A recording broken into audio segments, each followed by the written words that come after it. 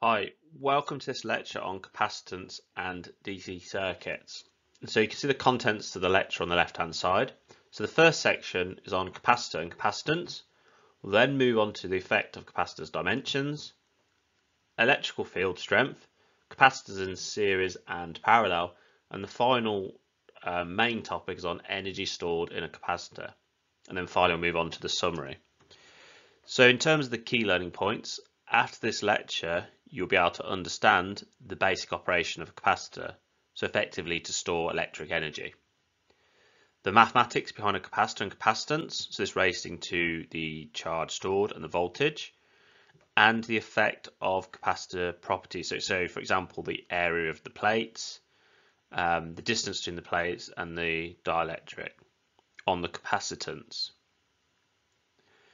and the effect of the voltage and distance between the plates on the electric field strength.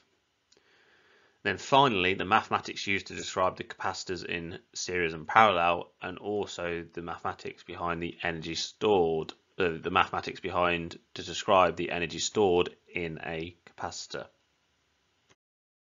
So if we start by looking at capacitor and capacitance in this um, section, the capacitor is typically denoted by this capital C here. And the capacitor consists of two conducting surfaces. So you can see here one, two. And what it's separated by is this insulating layer called a dielectric. This could be air or it could be some semiconductor material or some other material. So we've got two conductive plates and then we have this dielectric um, part in the middle. And you can see here we're supplying it here with a effectively a voltage potential difference. What the capacitor is used for is to store electric charge and therefore store electric energy. So it's used effectively to store electric energy. Capacitors, they come in different configurations. So you can see here a range of capacitors. In this video, I'm not going into the into the direct science of exactly how a capacitor works, but if you want to look at um, electronics systems approach by Neil Storey, chapter 4, section 4.2, and he goes in more detail to explain the effect that goes on board on, on the capacitor. And if you watch the next video on RC circuits, you'll and, and then the corresponding um, lectures, you'll see a configuration that looks like this, where we've effectively got a resistor and a capacitor in series. And you can see here, I've told you already that the capacitor effectively charges up. It also can discharge if the power source is um, effectively removed. Um, so charging and, and discharging of capacitors, get used to that because effectively that's the capacitors used to store, like I said, electric energy. So it's used to store electric energy, and um, when you're supplying it with a, for example, um, a power source, the removal of that power source will, will result in the in the charge discharging. And you can see here I've got a digital mul uh, multimeter over the over the capacitor, which I'm using to measure the voltage out. So again, that configuration there, typical configuration resistor capacitor circuit, explain more in the next lecture. So we start initially by looking at uh, definition of units. So for a single conductor, the capacitance is denoted C. And the definition is as follows. So the charge stored per unit potential difference change, i.e. is 1 farad, which is equal to 1 coulomb over 1 volt. So as I said, the unit is effectively the farad, denoted capital F, most capacitors have values rating from this picofarad, which is denoted here, this P and F, which is 10 to the power of minus 12, to microfarads, which is, you can see here the micro well, the symbol used here, farad, which is 10 to the power of minus 6. So now let's look at this mathematically. So for a given capacitor, the charge stored denoted Q. So you would have seen that symbol before. The charge stored is related to the voltage across it. So effectively the charge stored is proportional to the voltage. It's proportional to the voltage with this constant of proportionality known as the capacitance. So you can see here now the store, the charge stored is equal to this constant proportionality for the capacitance multiplied by the voltage. Or rearranging this to just make um, the capacitance the subject is just going to be equal to the charge over the voltage or the potential difference. So if we look at an example, what we have here is a 10 microfarad capacitor and it has 10 volts across it. What quantity of charge is stored in it? Okay, so you're probably thinking, well, I've got the capacitor value, I've got the voltage, I want to determine the charge. So what I need to use is equation 3, 2. So the following is effectively given. So the stored charge is equal to the capacitance multiplied by the voltage. Capacitance was 10 to the power 10. It was originally 10 here, 10 microfarads. So it's 10 times 10 to the power minus 6, which is effectively 10 to the power of minus 5, multiplied by the voltage, which in this case is 10, so 10, and that there gives us the value of 100 microcoulombs, as you can see. So that there is our answer. Nice, simple calculation. So now if we look at the effect of the capacitor's dimensions. So this might be quite obvious. So if we look at the capacitance, this is increased by having larger plates. So if we have larger plates and also by reducing the distance between those these plates. That's going to increase the electric field strength. So we look at this mathematically. A capacitance of a device is given by the following expression. So the capacitance is equal to you can see here A, which is effectively the area of the conducting plates, and D, which is the distance of the plates. So again, looking at this equation, it's quite obvious. Well, if you increase the area, okay, you're going to increase the capacitance. So it's on the top of the equation. You reduce the distance and you're going to increase the capacitance. It's quite obvious by looking at this equation. What we also have here is these two terms here. So we've got epsilon subscript um, 0 here and epsilon subscript r. Okay, these are here to use to denote the permittivity of free space and epsilon subscript r is the relative permittivity. So the values for these in a vacuum, a value is given as follows. You can see 8.85 um, picofarads per meter. And just to make you aware, this this uh, permittivity is effectively the ability of an electric field to per to effectively to spread throughout. So in the case of the of the of, of the vacuum, um, that's the number that's given. And because obviously we're not in back we're not in vacuum conditions, you have kind of this um, epsilon subscript r, which is like a uh, uh, well makes it kind of like a relative um, value. So if it's for example for air, you use a value close to one. And for like insulators, so if you decide, you know, between your two plates, I told you, had this uh, dielectric, dielectric material, well, dielectric, electric, and for air, value close to one. While as insulators, you'd use a value between two to a thousand or maybe even more. So if we look at a question, the conducting plates of a capacitor are two are 10 times 25 millimeters.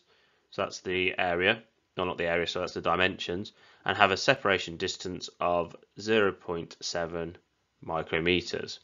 If the dielectric has a relative permeability of 100, what will the capacitance of the device be? So what I'm effectively going to use is we're going to use equation 3, 4 and just substitute in some numbers. So you can see the equation given here. So we know epsilon 0 because if you remember it was given up here. Okay that's always standard. The epsilon um, r here so the relative uh, permittivity are of 100 so a value of 100 is used here as you can see. Then the area here is determined based on obviously the dimensions given. So it's going to be because uh, obviously we're in millimeters here now so we need to 10 to the power of minus 3 effectively to move it to meters. So it's going to be 10 multiplied by 25 and then obviously multiplied by 10 to the minus 3. The distance given is 0.7 um, micro um, meters, so it's effectively 7 times 10 to the power of minus 6. So if you put that into your calculator, you should get this um, value here, 31.5 nanofarad. Right, so that there is obviously detailing the effect of the area of the plates and also the distance between the plates and the effect that they're going to have on the on the on the uh, capacitor and in terms of the ability of the capacitance and also the insulator or the material that you choose to use between the two plates. So we look at now at electric field strength. So you're aware of this relationship here. So electric charges of the same polarity repel each other, whilst those of opposite, opposite polarities attract. So when charged particles experience a force as a result of their charge, an electric field exists in that region, with the magnitude of the force exerted on the charged particle determined by the electric field strength, denoted here capital E. Note that this capital E is in bold because we use capital E for EMF. So we put this in bold to obviously differentiate between the two. So in terms of a formula for this, so it's given by this, so where E, capital E, bold, is the electric field strength, and it's equal to the voltage that exists between two points at distance D. This has units volts per meter. So if we look at a example here, so the conducting plates of capacitor have a separation of 10 micrometers. If the potential across the capacitor is 100 volts, okay, so high voltage, what is the electric field strength in the dielectric? Okay, so what's the field strength effectively between the plates? So if we use equation 3.5, we can determine this because obviously what we've been given is the voltage and we've been given the distance.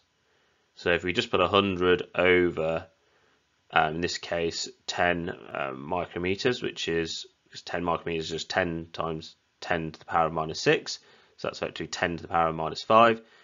The answer is equal to 10 to the power of 7 volts per meter. You could maybe convert this into um, an alternative um, form in terms of uh, maybe megavolts per meter, but I think this is this is fine in the form it's in. We're now going to look at capacitance in series and parallel. So look at this configuration, you'll notice that we've got effectively capacitors in parallel to begin with. So if we want to determine the effective capacitance of a number of capacitors in parallel, what this is equal to is the sum of their individual capacitance. So remember when we went through resistors, when we had a series or we had a resistors in parallel, you notice that the relationship wasn't necessarily this. When we had a load of resistors in series, the relationship was given similar to this. It's kind of the opposite. So the effective capacitance is effectively just the sum of the number of capacitance in parallel. So we look at an example what we want to determine is the effective capacitance of the arrangement below, where we've got effectively 10 microfarad, 15 and 20 microfarad. So what we simply do is just sum these up. So it's just 10 plus 15 plus 20, so it's equal to 45 microfarad. Then if we're looking at capacitors in now in series, because we've got this configuration given here, so we've effectively got here, well, in general form, it's it's C1, C2, C3, C4, Cm. So the effective capacitance of a number of capacitors in parallel is given by this. So 1 over C, which is our effective capacitance, is equal to 1 over C1, 1 over C2, plus all the way up to, well, C1, C2, all the way up to C, um, C subscript N in the general form. So this is a similar relationship, this equation, to when we looked at resistors in parallel However, you're looking at this and you're thinking, well, the capacitors are now in series. So again, as I said on the previous slide, the relationship's kind of just flipped when comparing capacitors to resistors. So what is the effective capacitance of the arrangement given below? So we've got two capacitors, 10 microfarad and 25 microfarad. So if we use equation 3.7, the following is given. So 1 over C, so effective capacity is 1 over C1, 1 over C2, where C1 is 10 and C2 is 25. Just going to ignore the, micro, the 10 to the power minus 6 for now, which is equal to 35 over 250. All right, um, because if we, we can make the base 250, so that's going to be 10 over 250, and then to make this 250, it's going to be um, so that's going to be 10 over. So that means that that that there is going to be 25 over 250. So 35 over 250. Flip the equation, so it's going to be 250 over 35. Determine that. Use your calculator. So it means the capacitance is going to be equal to 7.14 microfarad. Good point to note is that the value here should be less than these two original values. Okay, it's a good little check in when you're doing your calculations. So that value there should be less, which it is. You can see 7.14 is obviously less than those two, so you know that you're in the right ballpoint. So what we're now going to explore is the energy stored in a capacitor. So potential energy, denoted capital U, is given by this equation. So the potential energy stored in a capacitor is equal to the half multiplied by Q, which is electric charge, multiplied by the voltage, which is the which is effectively the potential difference between the two plates. So recall from equation 3.3, i.e. the capacitance be equal to the charge over the voltage. If we rearrange this to make voltage the subject of the equation, so the voltage is equal to the charge over the capacitance, and then substitute this into equation 3.8, what we get is this here, where the potential energy charge is equal to half Q, and then brackets Q over C, which obviously now we've got two Q's here multiplying, it's just going to be Q squared over C.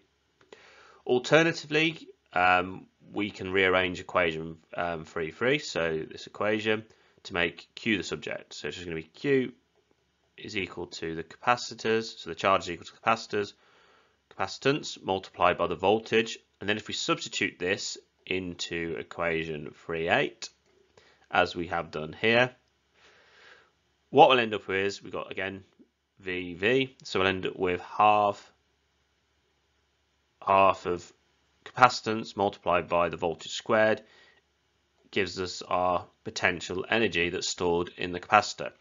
So you'll notice this squared relationship on the voltage, this really shows the significance of the voltage that you're applying to the capacitance or the, the voltage that's being used within the circuit in terms of the potential energy for that given capacitor. So if we look at an example, what we're going to do is calculate the energy stored in a 10 microfarad capacitor which has which has been charged to 100 when it is charged to 100 volts. So if we use equation 310, so that should be obvious to use equation 310 because we have uh, obviously a capacitor of 10 microfarad and we also have a voltage of 100 volts. So if we substitute that in, so effectively your potential energy is equal to half multiplied by 10 to the power of minus 5 because 10 microfarad, 10 times 10 to the power of minus 6 is going to give us 10 to the power of minus 5. 100 squared and the answer that's going to give us is 50 millijoules. So 50 millijoules of energy is stored in this capacitor given the charge that's applied to it. Well, given when it's when it's char a charge to 100 um, volts. So in summary, the basic operation of a capacitor has been detailed, i.e. to store energy. If you want to know more in terms of the science and the background of capacitors, have a look at chapter 4 on electronics, a systems approach by Neil Storey. Within this lecture, the following mathematics has been detailed. So the capacitance relating to charge stored and voltage. The effect of the capacitor properties, i.e. the area of the two plates, the distance between the two plates and the dielectric on the capacitance the effect of the voltage and the distance between the plates on the electric field strength, and the mathematics behind what a, what a set of capacitors, um, the mathematics behind a set of capacitors in series, and also parallel. And just remember that the kind of the form of the equations is kind of the opposite to what you you saw before when you when we looked at resistors, and then the potential energy of a capacitor. So if you have any questions, please feel free to contact me. Thank you.